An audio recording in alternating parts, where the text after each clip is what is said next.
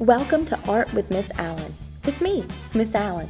On this channel, we will be drawing and coloring, cutting and gluing, painting, and doing a lot of other fun art activities that we can make together at home.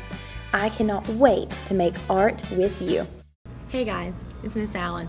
I thought today we could learn about an artist named Alma Thomas, who is an African American artist and a painter who I think is one of the best painters of the 20th century. She has so much to show us, and if you would like to learn more about her, there is a video down in the description um, of this video that I've linked where you can learn about her and her lifestyle.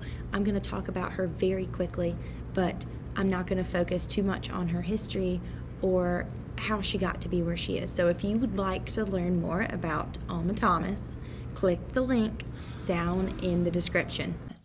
She was an African American painter who was an art teacher and who really came into her own painting style once she retired from teaching after 38 years. This painting next to her, entitled Spring Flowers, is just one of her many paintings that she is recognized for today. Her painting style is considered abstract, but is inspired by nature and by other things that she sees around her. While Alma Thomas is a painter, I am inspired by her artwork in a way that we're going to use collage. Now, collage is using paper or different materials, a lot of times it's paper, is using paper to build a picture instead of using paint or drawing. So we have a couple of things for our supplies today. I have a pair of scissors. You don't need scissors. You can just rip the paper if you want to. That will be just as um, effective. You need a piece of paper that's going to be your base. This is what I'm going to build my collage on. You need glue of some kind. I have a glue stick, but you can use white glue. And then you need whatever color pieces of paper that you want for your picture. Let's get started. So I have my base paper here. And this paper can be any color you want it to be. All it's going to do is it's going to serve as what I'm going to glue my collage down onto. So all of that color paper I had earlier, I've been cutting um, while I've been preparing for this. So I have a square and this is going to be my first shape. I'm gonna make a circle out of this and that's gonna be my starting point in the middle.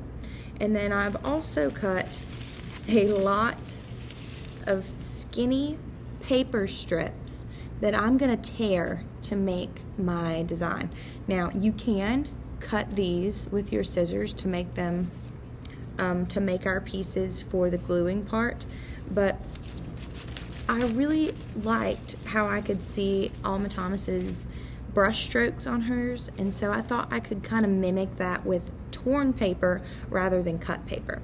So I might even do that with my circle. I've never to be honest I didn't even think about that until just now but I'm gonna actually tear my paper to make my circle as well.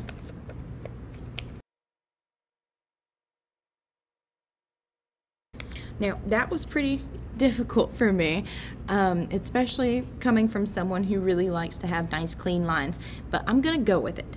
We're gonna start with a circle. If you don't want this weird teared edge thing going on, you can always use your handy dandy scissors. Make sure if you're using scissors, you're asking a parent about it or a grown up or an older sibling can help you. But I'm gonna glue my wobbly circle down to the middle of my paper. And I don't need a whole bunch of glue, but just somewhere in the middle of your paper. And you can turn your paper either way. I have it turned wide so you can all see it. But once I have a starting point, the rest of my paper is going to make um, rings around my main circle. And this is called a concentric circle, where you start in the middle and it gets bigger and bigger and bigger and bigger. We talked a little bit about concentric circles on another video that was, um, oh man, Kandinsky, who did circles like this with paint too. Uh, Alma Thomas uses concentric circles as well. But I'm gonna prep this paper that I have, this blue paper, by tearing some pieces. I'm not tearing too much. I'm just kind of going to the edge and pulling. So I tore about half. I'm gonna put the other half away and save it for later if I wanna use this color again, which it's a very pretty blue color, so I think I'm going to. But once I get one color going around, or one color torn, I'm gonna start gluing these down in a circular pattern going around my piece. Now, if you want to make smaller pieces for your paper. You can, not a big deal, but just you, it's up to you how small you want these pieces to be. I will say smaller pieces are harder to glue. So if you're using smaller pieces, make sure that you are being careful not to make a super huge mess with your glue.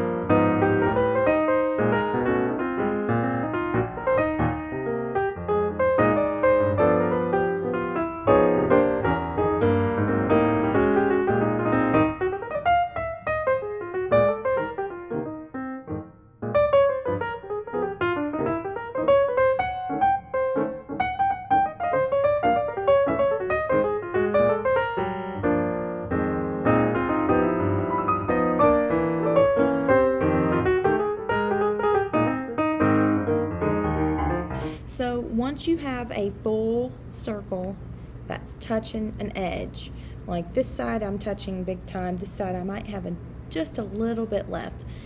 It doesn't matter. Once you have a full circle touching the edge, you'll use one color to fill in the rest of the paper. Now that can be the same as the last color you have, or that can be a completely different color. I'm gonna use yellow because I haven't repeated that color and I'm gonna use it to kind of make this picture really super bright. But you can use whatever color you want. You don't have to use your middle color.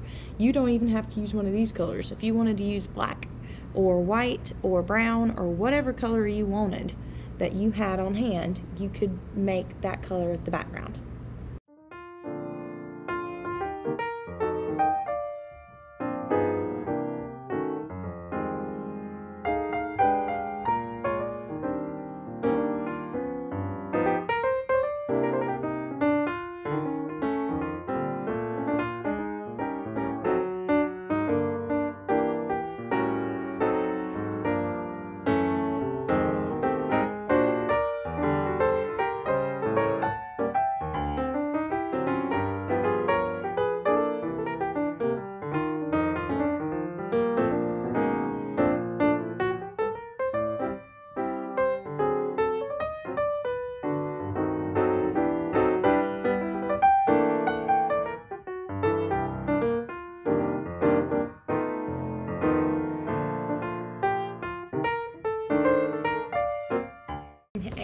it's done. Oh, I had a piece fall out right when I picked it up. I'm gonna put that back on. That's why you use glue sticks, children. So when stuff like that happens, you pop it right back on it. It's not a big deal. But let's try that again. So we have this beautiful piece of artwork now. And I will tell you, it took me forever. So if you need a break during this lesson, take one go outside, go read a book, go play a video game if it's okay with your parents. But take a break, come back to it. You don't have to finish all of this all at one time. But I think if you take your time and you make sure that you are doing the best you can, it's going to look great, just like mine. I hope you guys had fun, and I'll talk to you later. Bye.